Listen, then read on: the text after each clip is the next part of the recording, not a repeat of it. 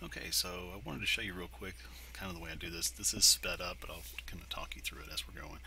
Uh, it took me about, I don't know, 15, 20 minutes to paint this, so um, I have it sped back up here so you don't have to spend 15, 20 minutes for me explaining what I'm doing. So basically what I did was uh, started with a nice mid-grade tone in the background, and then from there just drew a very simple shape that anyone could draw out. Uh, and again, for this one, I'm not going for over realistic or anything, just kind of playing around with different painting styles and techniques on my iPad. And then um, going with real uh, intense colors as well. But essentially, I started laying in the blues, the greens, and then um, some of the browns and some lighter blues to represent like maybe some of the uh, surf underneath that you could see, some of the, um, the rocks and, and, mud and stuff, or in the blue from the sky. Uh, the main thing with this that you want to do when you're laying these out is make sure that you're painting to the contour of the wave. So you'll notice that my um, strokes follow the pattern of the wave. And then um, here I'm just adding in some white and uh, making the using the colors around it to pull in the different shades and let it blend in. I do this the same way when I'm doing acrylics or oils. Um, and then uh, just blending it around it. Basically what I used for this was the palette knife the oil brush, um, airbrush just a little bit, which you'll see here on the waves when it turns purple right there. And um, blend it in. I don't like using the airbrush too much because sometimes it's hard to blend in. Depends on how much uh, oil you have underneath it, quote unquote. Um, so then I just kind of took it and blended around and played around with different colors. You'll see like that stripe that just popped through the center there, and there'll be another one here in a minute on the side. My iPad does that on occasion. I'm not sure why, but it does it's just kind of annoying. Um, but yeah, just really playing around with different techniques, uh, trying to have fun, basically, is what I'm doing here. And playing around with the different highlights and stuff. And so, you know, see, there's no those lines, so I have to delete it.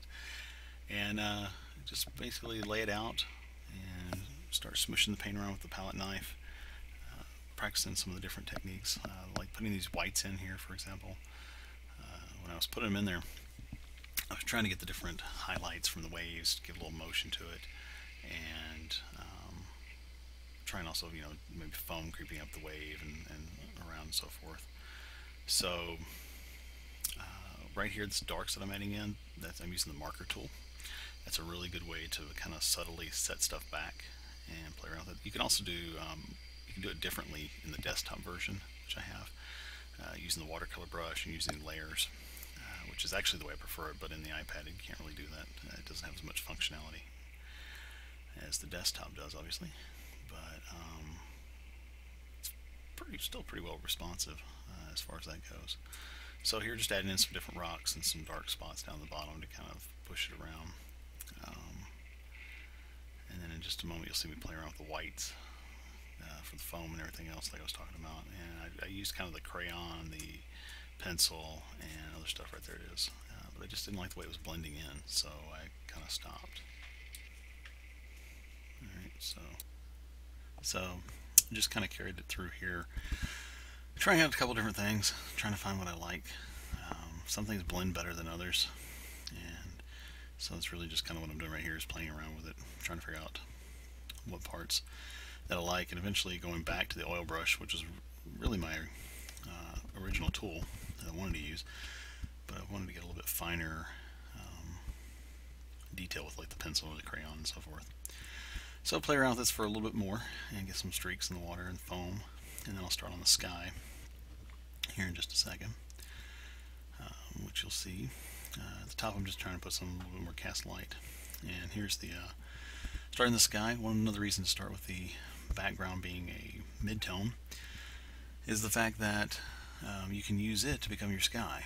So what I did here was threw in the uh, chalk pastel and then I'm going back over with the palette knife to soften it up some and um, just kind of blend it out.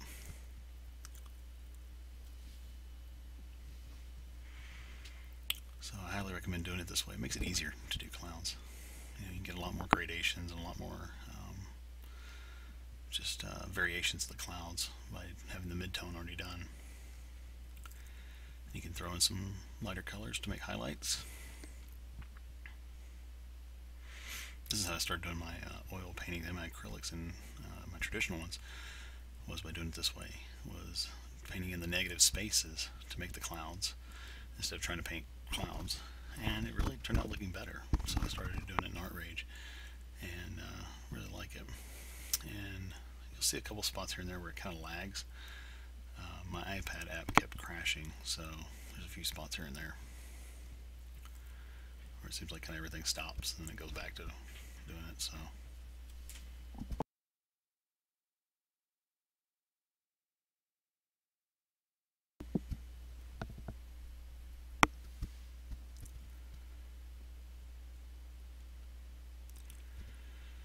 But then you just throw in some few darks and there. And I didn't want to put too much dark in the corners as far as that goes, because then it become too stormy. But I did want to add a little variation. And then here in a second I'll start throwing in some blues. And then as you do that, you instantly have a break in the clouds. So it just makes it a really easy way to do it. And what I'll do in the desktop version is I'll take these clouds and kind of round them out with airbrush and with um, the knife tool a little more.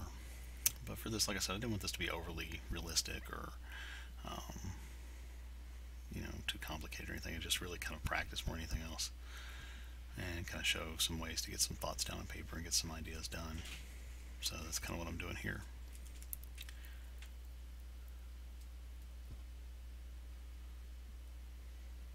And about to round out. I've got about another 15 20 seconds left. So if you like this or if you have any questions, put it down in the uh, bottom in the comment section and I will do my best to get back to you. And we can see it um, right here, just trying to look at some ideas for adding foam in as well. But, but yeah, put the information down there. I'll do my best to get back to you as soon as possible and answer whatever questions. But hopefully you got something out of this. Hopefully you're able to see um, what I did here. So Thanks a lot. Have a great day.